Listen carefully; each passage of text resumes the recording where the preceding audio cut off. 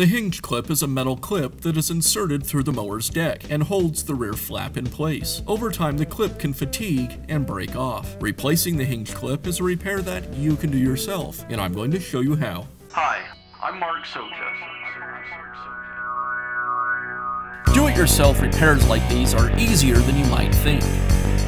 From lawn machines to cordless drills, kitchen mixers, Outdoor grills.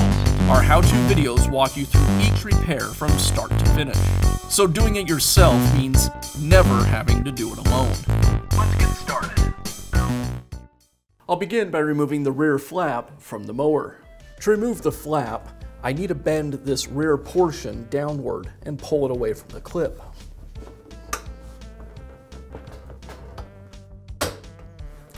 Then I can pull the flap away from the opposite clip.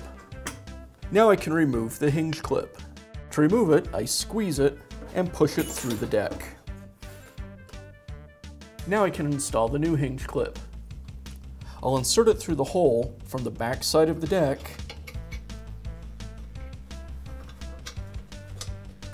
and push it through until it snaps into place. And now I can reinstall the rear flap. To install the rear flap, I'll insert one side through one of the hinge clips. Then again, I'll bend the center portion until I can fit the opposite post into the other clip.